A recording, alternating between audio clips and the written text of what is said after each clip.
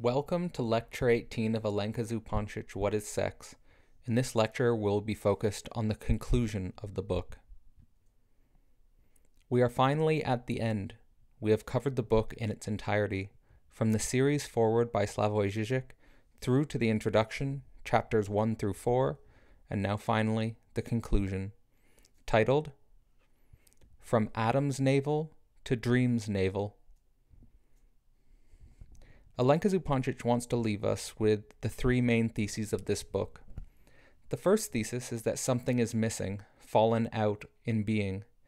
If we think to our most basic phenomenology, we must confront this deep seated feeling of something missing, something not quite right, in the very nature of our being. Of course, for Zupancic, this something missing is paradoxical, because it is something missing which we never had in the first place. It is as if we lost something that we never had to begin with.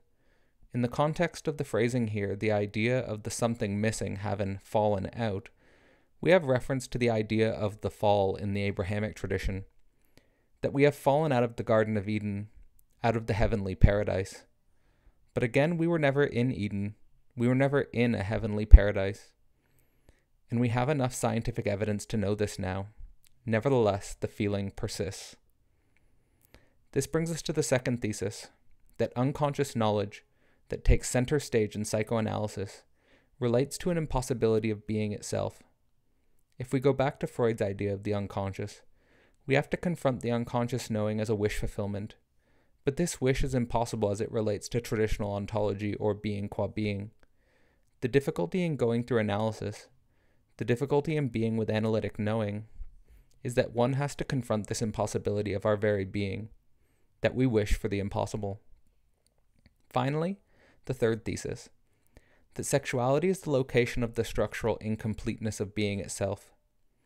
The reason why sexuality is so important to us, and at the same time, the reason why sexuality is so difficult to us, is because it is the very frontier where we feel the deepest aspect of our being, and consequently, the aspect of our being that most deeply reflects the impossibility of our being. To be precise, the impossibility of the completeness of our being. This reflects Zupancic's contribution to the larger Slovenian philosophical tradition, that of the positing of ontological incompleteness.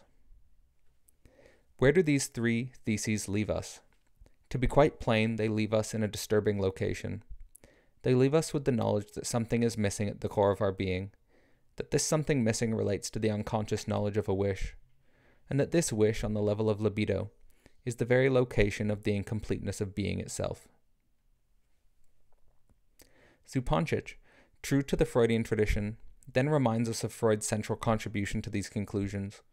Freud's discovery of the unconscious knowledge has huge consequences for the theory of knowledge in general. To be specific, Freud knew there was no original drive for knowledge. We do not intrinsically want to know. We only want to know as an epiphenomenal after effect of existential difficulty of our primary unconscious knowing.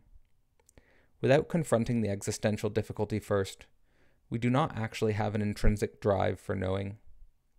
Freud also knew, as a consequence of there being no intrinsic knowledge drive, that questions of being, fundamental philosophical questions, have a negative character, since they will never quench our thirst, so to speak, for our own self knowing.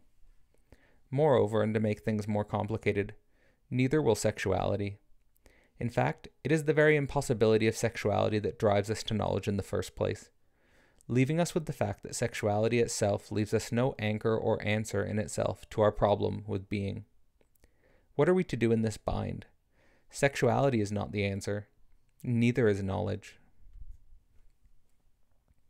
Zupancic seems to suggest that we must first realize that sexuality as a gap or void in being, at the location of the incompleteness of being, must be recognized as the first mover, so to speak, Consequently, all of the knowledge structures we build in civilization are defenses or constraints placed around this central gap void in being.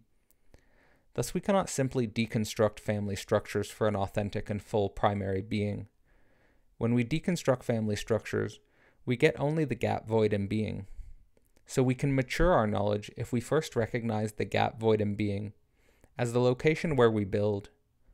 Both sexuality and knowledge are structured around a fundamental negativity The only thing to do here is anchor properly, which offers us at least a truth that can mature our sexuality and our knowledge.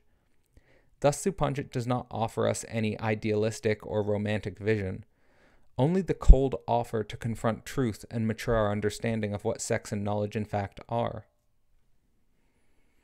Now to the fundamental metaphysics. Zupancic asks us the question Did Adam and Eve have navels? She notes that in many artistic representations, not only did artists not represent Adam and Eve's genital regions, but they also left it as an open ended question whether they had navels or belly buttons. Of course, the navel would be evidence that they were born from the process of sexual reproduction, that they had gone through a developmental phase inside the womb of a woman. But since they are children of God and not another human, it would make sense that they do not in fact have navels. Zupancic is here trying to point towards how we can think of the unconscious as the navel. To quote Zupancic, in Freud, in the interpretation of dreams, the famous as well as curious expression, the dream's navel, related not to what we can know, but to the hole in the very net of knowledge that can be laid out in the analytic interpretation. There is often a passage in even the most thoroughly interpreted dream which has to be left obscure. This is because we become aware during the work of interpretation that at that point there is a tangle of dream thoughts which cannot be unraveled and which moreover adds nothing to our knowledge of the content of the dream. This is the dream's navel, the spot where it reaches down into the unknown. End quote from Freud. To continue from Zupancic. I would suggest that we should read the term unknown not as referring to something unknown to us, but in a stronger sense of the gap in knowledge coinciding with the gap in being. We do not know because there is nothing to know, yet this nothing is inherent to being and constitutes its irreducible crack. It registers a peculiar negative epistemological score. It registers as a peculiar form of knowledge, the unconscious. Thus, if sex and knowledge are not the answer as positive features of being, what she, what she does suggest is a redoubling of negativity, the negativity of being itself where our sex fails, and the negativity of epistemology itself where our knowledge fails. In the redoubling of the failure of sex and knowledge, we have the capacity to bring to our awareness that there is nothing to know in being or inside ourselves. Perhaps, if anything, that idea can bring us some capacity to endure the vicissitudes of both knowledge and sexuality. And that concludes What is Sex? If you have been following from the beginning, Thank you very much for your time and attention. And if you have just started, please find a link in the video or in the description to this series below.